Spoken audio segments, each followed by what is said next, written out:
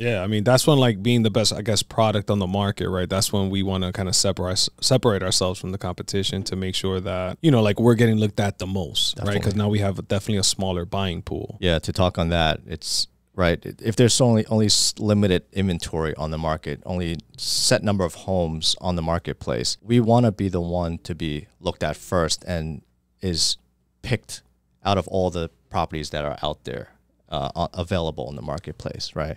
They'll allow us to sell for the most and the first one to go out.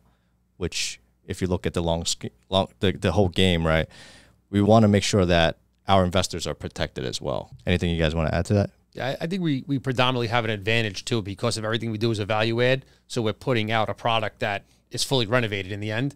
And I think versus the competition that's out there on the inventory, there's not much, you know, wh- whether it's our specific area or the surrounding areas, there's not that much new construction, well, newer renovation that's out there to compete with us during the time of that listing, during that three month phase or that six month phase. So I think that just gives us just a competitive advantage to begin with on it.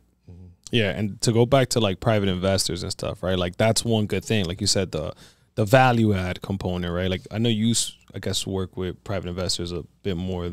Like is that like what is is it the the track record that we have, or is it the um the equity on these properties? Do you think it's like a little bit of both? I think both. Yeah. Yeah, I think the uh, obviously it always comes down to track record, whether it's new new investors or you know follow up that we've been working with for years. I think you know showing that ability to execute from start to finish always brings them back, and then that leads to word of mouth, and obviously the more you do, more people say it. So I think it's a combo, and then obviously the equity split and all that little you know upside definitely interest some investors that they're part of the, you know the deal or part of the uh, I guess it's a little bit of their product as well. Gotcha. know. So that interests certain investors, not institutional ones, but private. And I think we buy things uh, very conservatively, right? We do less deals, but we run our numbers very conservatively, right?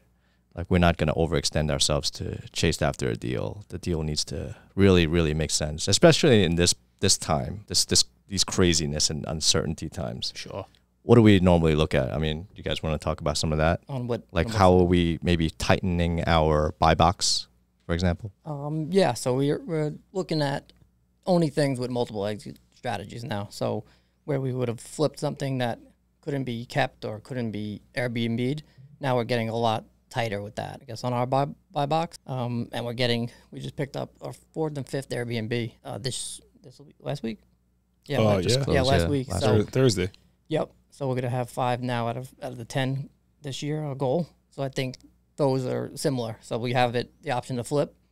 Um, if we can't Airbnb it or if rules change, we still have that equity on the value add side where we're gonna uh, be able to flip it or keep it as a long term rental if the Airbnb doesn't work out. So it's the multiple exit strategy is probably our biggest shift from last year, um, where we would just look at something as a new construction or a build or a flip with no Airbnb like upside. So now it's nice to have the multiple options. And other things, we started giving up equity on the long term. So that's something I guess for the first few years we kind of bootstrapped the business, pretty much did it all in house. And now we're now we're I guess based on track record, comfortability, and you know our growth, we feel more comfortable taking on investors with long term I guess partnerships, Yeah.